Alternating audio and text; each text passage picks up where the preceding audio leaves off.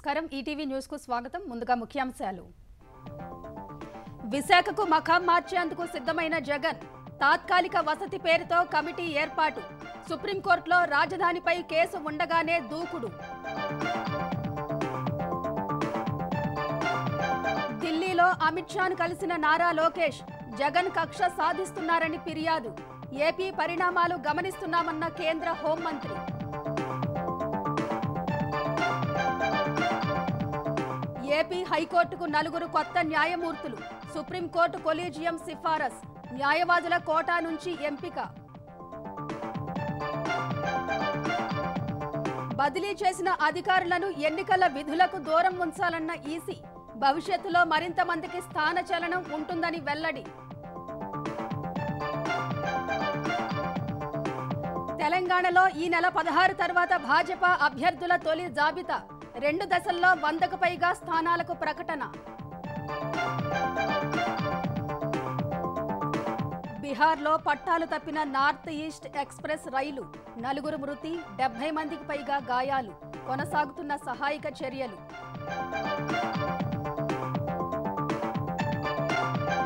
One day ప్రపంచ కప్లో భారత్ రెండో విజయం. ఆఫ్ఘనిస్తాన్పై ఎనిమిది వికెట్ల తేడాతో గెలుపు. అరవై మూడు బంతుల్లోనే సెంచరీతో Rohit Sharma record.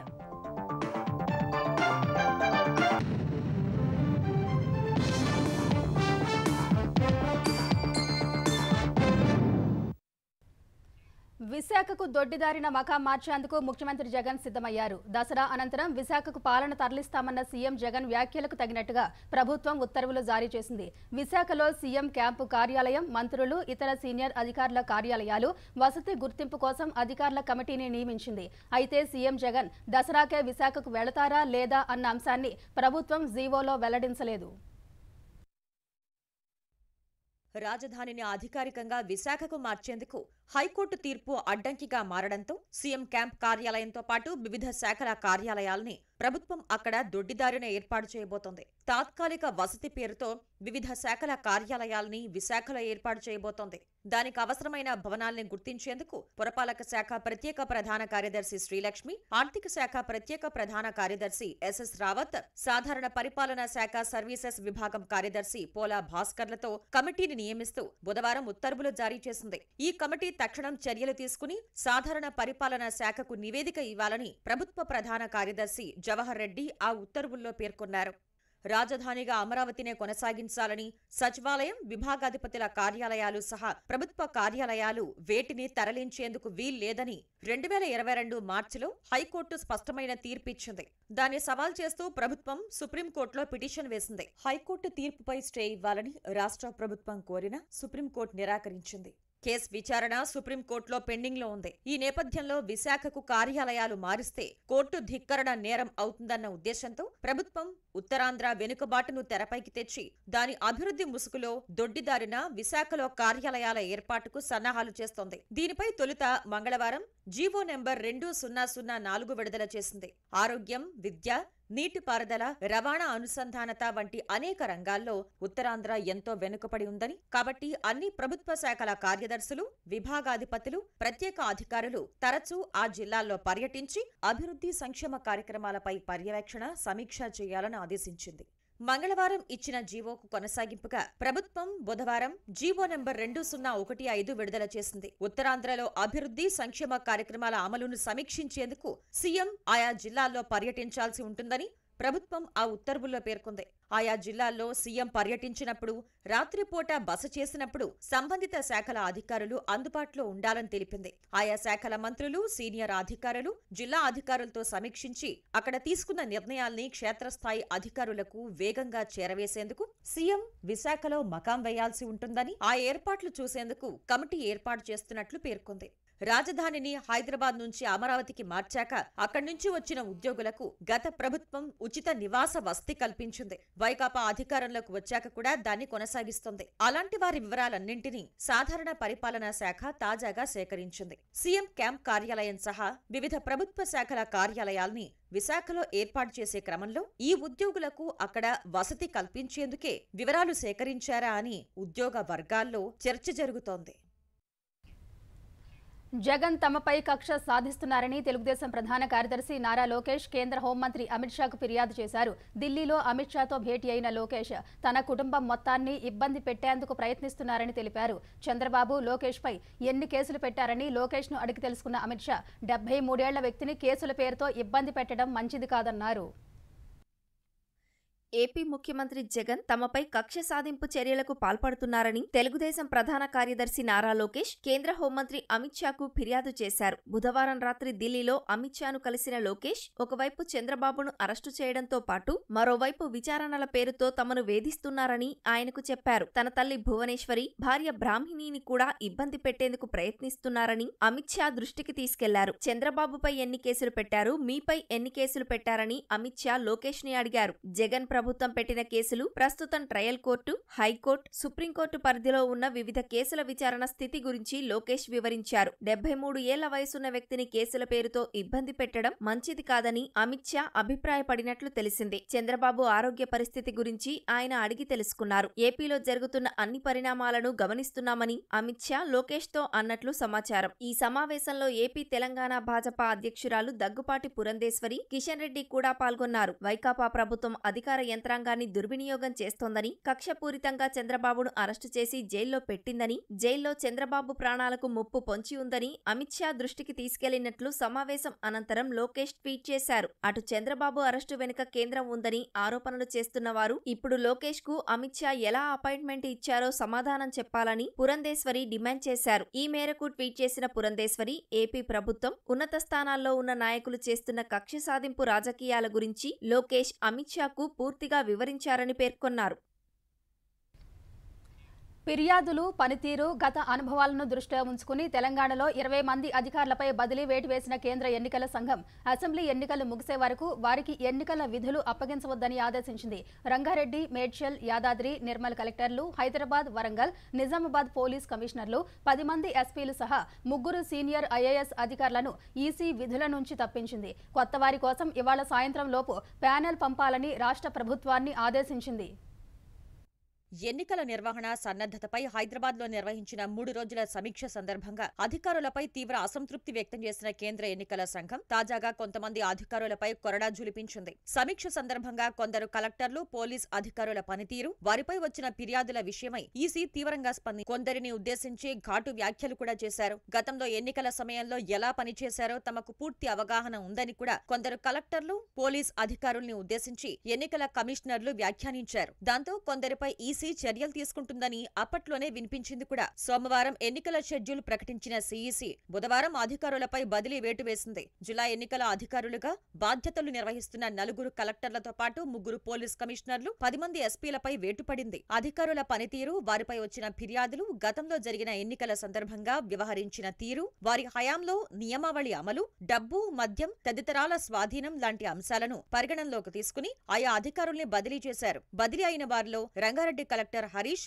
Medchal collector Amoy Kumar Yadadri collector Vinay Krishna Reddy Nirmal collector Varun Reddy ఉన్నారు. Hyderabad police commissioner CV Anand Warangal CP Ranganath Nizamabad CP Satyanarayana బదిలీ అయ్యారు. సూర్యాపేట ఎస్పీగా ఉన్న ఐపీఎస్ అధికారి రాజేంద్ర ప్రసాద్తో పాటు తొమ్మిది మంది నాన్ క్యాడర్ ఎస్పీలను బదిలీ చేశారు. అసెంబ్లీ ఎన్నికలు ముగిసే వరకు వారికి ఎలాంటి ఎన్నికల సంబంధిత విధులు అప్పగించవద్దని ఈసీ రాష్ట్ర ప్రభుత్వానికి స్పష్టం చేసింది. రవాణా శాఖ ముఖ్య కార్యదర్శి శ్రీనివాసరాజు వాణిజ్య పనుల శాఖ కమిషనర్ టీకే శ్రీదేవి ఎక్సైజ్ శాఖ సంచాలకులు ముషారఫ్ అలీ బదిలీ అయ్యారు. ప్రభుత్వ ప్రధాన కార్యదర్శి అదనంగా బాధ్యతలు నిర్వర్తిస్తున్న ఎక్సైజ్ వాణిజ్య పనుల శాఖలకు విడిగా ముఖ్య కార్యదర్శుల్ని నియమించాలని కూడా ఈసీ ఆదేశాలు జారీ చేసింది. ఎన్నికల సమయంలో సీఎస్ పద్దే రెండు శాఖలు ఉంటే ఇబ్బంది అవుతుందని వేరే వారికి అప్పగించాలని స్పష్టం చేసింది. బదిలీ అయిన వారి స్థానాల్లో కొత్త వారిని నియమించేందుకు ఇవాళ సాయంత్రంలోగా ప్యానెల్ పంపాలని రాష్ట్ర ప్రభుత్వాన్ని ఈసీ ఆదేశించింది. గత ఐదేళ్ళుగా వారి వార్షిక నివేదికల్ని కూడా పంపాలని తెలిపింది. ఒక్కో పోస్టుకు ముగ్గురు అధికారుల చొప్పున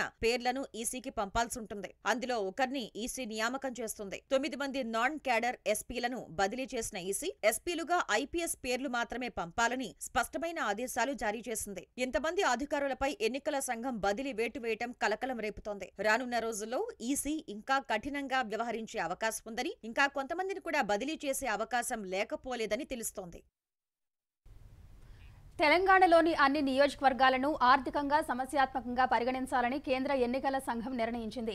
గత రెండు మూడు రోజులుగా స్వాధీనం చేసుకుంటున్న మొత్తాలను దృష్టిలో పెట్టుకుని ఈ నిర్ణయం తీసుకున్నారు. గత మూడు రోజులుగా పట్టుబడిన డబ్బు బంగారం మద్యం విలువ పది కోట్ల వరకు ఉంటుందని అంచనా. రానున్న ఎన్నికల్లో డబ్బు వెచ్చలవిడి వినియోగానికి అడ్డుకట్ట వేసేందుకు ఈసారి వ్యయ పరిశీలకుల సంఖ్యను కూడా పెంచనున్నారు. పరిశీలకులతో పాటు నిఘా వర్గాల నుంచి కూడా సమాచారం తీసుకోనున్నారు.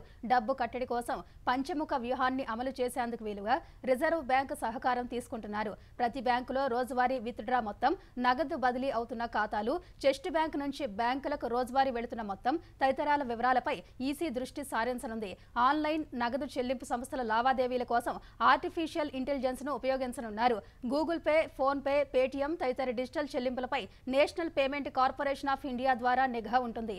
పోస్టాఫీస్ ఖాతాల లావాదేవీలను పరిశీలించి రోజువారీ నివేదిక ఇవ్వాలని ఈసీ ఆదేశించింది.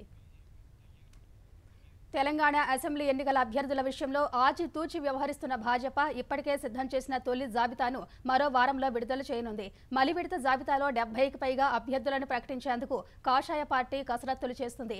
దరఖాస్తు చేసుకున్న వారిలో బలమైన వ్యక్తులను గుర్తించడంతో పాటు దరఖాస్తు చేసుకోని ముఖ్య నాయకుల అభ్యర్థిత్వాలను పరిగణలోకి తీసుకుంటున్నారు. పదహారవ తేదీ తర్వాత నుంచి రెండు దశల్లో వందకు పైగా స్థానాలకు అభ్యర్థులను ఖరారు చేసినట్టు తెలిసింది. భాజపా తెలంగాణ ముఖ్య నేతలతో పాటు పార్టీ ఎన్నికల ఇన్ఛార్జ్ ప్రకాష్ జావడకర్ రాష్ట్ర ఇన్ఛార్జ్ తరుణ్ చుగులు అభ్యర్థుల ఎంపికలో చురుగ్గా వ్యవహరిస్తున్నారు. కాంగ్రెస్ అభ్యర్థుల ఎంపికలో కొన్ని నియోజకవర్గాలకు ఆ పార్టీ అధిష్టానం జోక్యం అనివార్యమైనట్లు సమాచారం. పోటీ తీవ్రంగా ఉండి నాయకులు తాము సూచించిన వారికే టికెట్లు ఇవ్వాలని పట్టుబడుతున్న స్థానాల్లో అభ్యర్థుల ఎంపిక ఏఐసీసీ నిర్ణయానికి వదిలిపెట్టినట్లు సమాచారం. ఈ నెల పద్నాలుగున కాంగ్రెస్ ఎన్నికల కమిటీ తెలంగాణపై భేటీ కావచ్చని ఆ పార్టీ వర్గాలు పేర్కొంటున్నాయి. కాంగ్రెస్ అభ్యర్థుల ఎంపికపై మురళీధరన్ నేతృత్వంలోని స్క్రీనింగ్ కమిటీ నాలుగు సార్లు సమావేశమైంది. అయితే ముఖ్య నాయకులే కొన్ని నియోజకవర్గాల అభ్యర్థుల కోసం పట్టుబట్టడం సర్వే ఆధారంగా ముందున్న పేర్లు పీసీసీ అధ్యక్షుడు సూచించిన పేర్లు భిన్నంగా ఉండటంతో తుది నిర్ణయం తీసుకోలేకపోయినట్టు సమాచారం. చర్చలు వాదోపవాదాల తర్వాత డెబ్బై రెండు నియోజకవర్గాలకు ఒకే పేరును సూచించినట్టు తెలిసింది.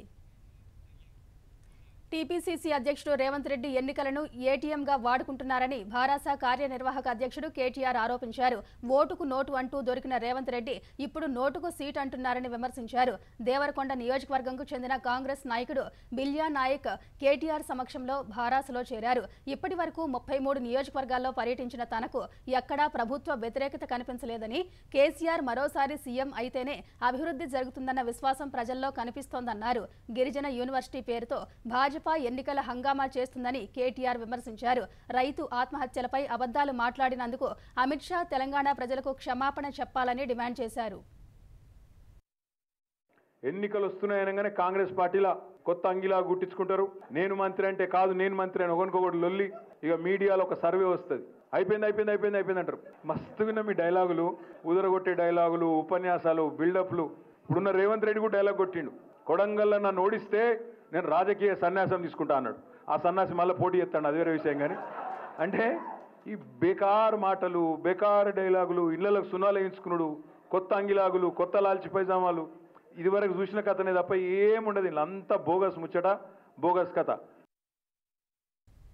ఆంధ్రప్రదేశ్ హైకోర్టు న్యాయమూర్తి పోస్టులకు నలుగురు న్యాయవాదులను సుప్రీంకోర్టు కొలీజియం సిఫారసు చేసింది. ప్రధాన న్యాయమూర్తి justice D Y Chandrachud justice Sanjay Kishan Kaul justice Sanjiv ఖన్నాల నేతృత్వంలోని కొలీజియం న్యాయవాదులు హరినాథ్ నూనెపల్లి కిరణ్మయ్ మండవ సుమతి జగడం న్యాపతి విజయ్ పేర్లను న్యాయమూర్తుల పోస్టులకు సిఫారసు చేసింది. ఆంధ్రప్రదేశ్ హైకోర్టులో పనిచేస్తున్న ఇద్దరు అత్యంత సీనియర్ న్యాయమూర్తులతో సంప్రదించి ఆ హైకోర్టు ప్రధాన న్యాయమూర్తి ఫిబ్రవరి ఇరవై రెండున ఈ నలుగురు న్యాయవాదుల పేర్లను న్యాయమూర్తుల పోస్టులకు సిఫారసు చేశారని కొలీజియం తెలిపింది. ప్రస్తుతం అమల్లో ఉన్న నిబంధనల ప్రకారం సీనియారిటీని నిర్ణయించినట్టు పేర్కొంది. ఈ ఖరీఫ్ సీజన్లో రైతులు పండించిన పంటకు ఖచ్చితంగా మద్దతు ధర దక్కేలా చర్యలు తీసుకోవాలని అధికారులను సీఎం జగన్ ఆదేశించారు. వ్యవసాయం అనుబంధ రంగాలతో పాటు పౌర సరఫరా శాఖలపై సీఎం సమీక్షించారు.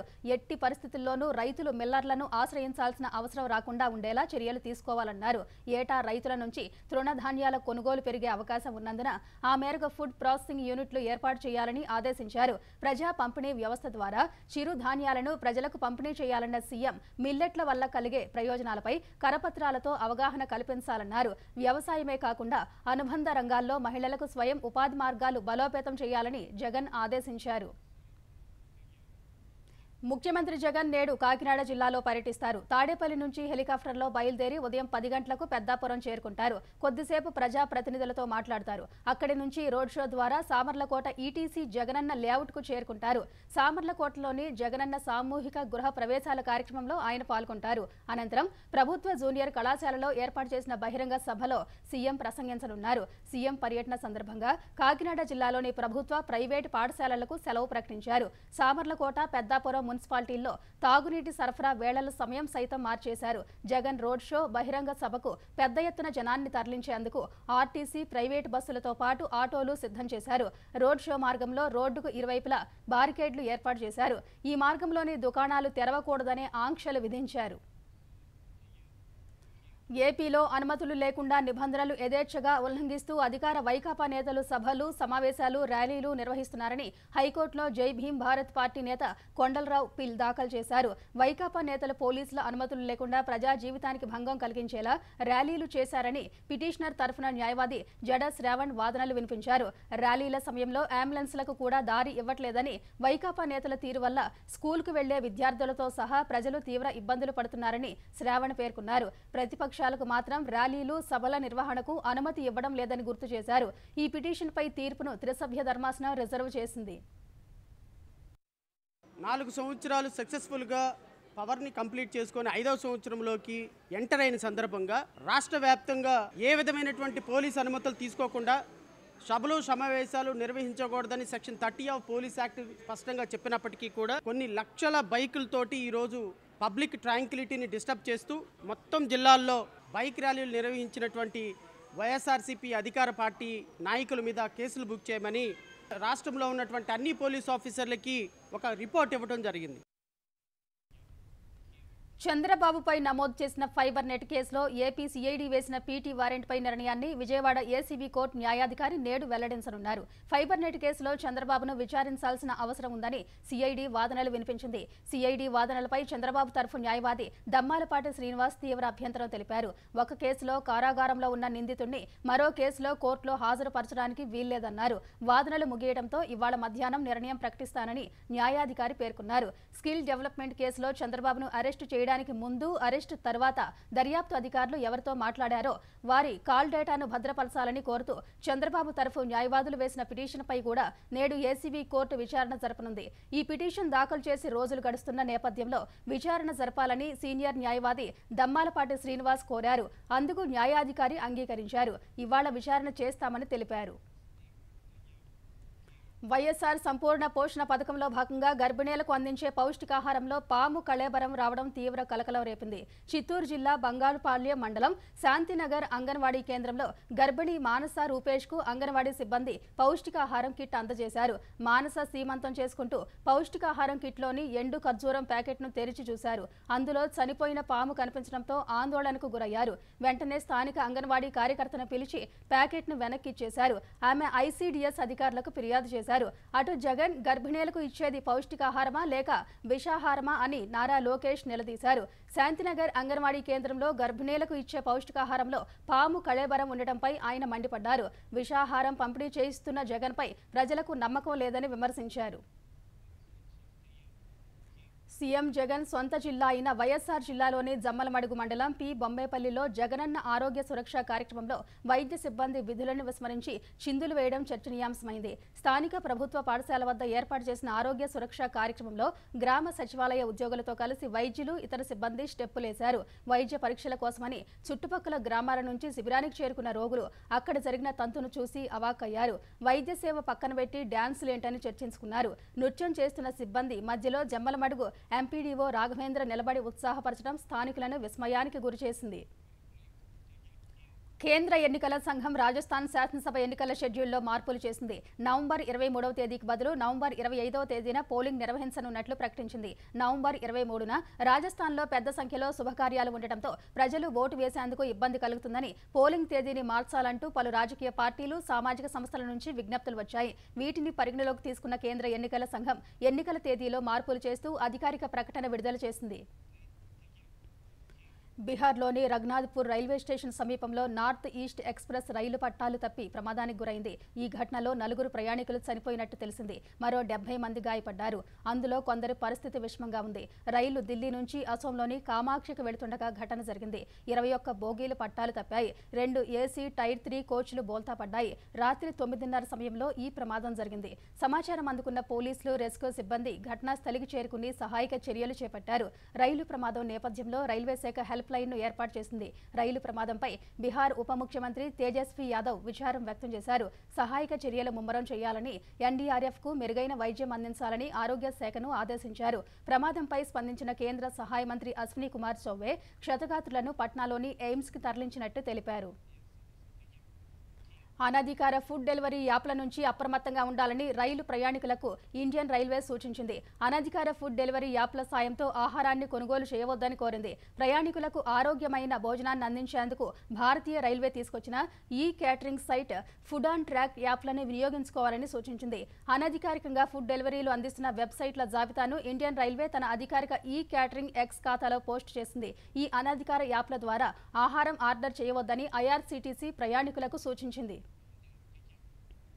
మహారాష్ట్రలోని నాందేడ్ ప్రభుత్వ ఆసుపత్రిలో రోగుల మృత్యు ఘోష కొనసాగుతుంది. గడిచిన ఎనిమిది రోజుల్లో ఈ హాస్పిటల్లో మరో నూట ఎనిమిది మరణాలు సంభవించాయి. గత ఇరవై నాలుగు గంటల్లో పదకొండు మంది రోగులు మరణించగా వీరిలో ఓ పసికంది ఉంది. ఇటీవల ఈ ఆసుపత్రిలో కేవలం నలభై ఎనిమిది గంటల వ్యవధిలోనే ముప్పై ఒక్క మంది మరణించడం తీవ్ర దుమారం రేపింది. వరుస మరణాలపై ఆసుపత్రి డీన్ మరోసారి స్పందించారు. ఔషధాల కొరత కారణంగా ఏ రోగి ప్రాణాలు కోల్పోవట్లేదని వారి ఆరోగ్య పరిస్థితి విషమించడంతోనే చనిపోతున్నారని తెలిపారు. ఈ ఘటనను బాంబే హైకోర్టు సుమోటోగా స్వీకరించి మహారాష్ట్ర ప్రభుత్వాన్ని వివరణ కోరింది. అటు జాతీయ మానవ హక్కుల కమిషన్ కూడా రాష్ట్ర ప్రభుత్వానికి నోటీస్ జారీ చేసింది.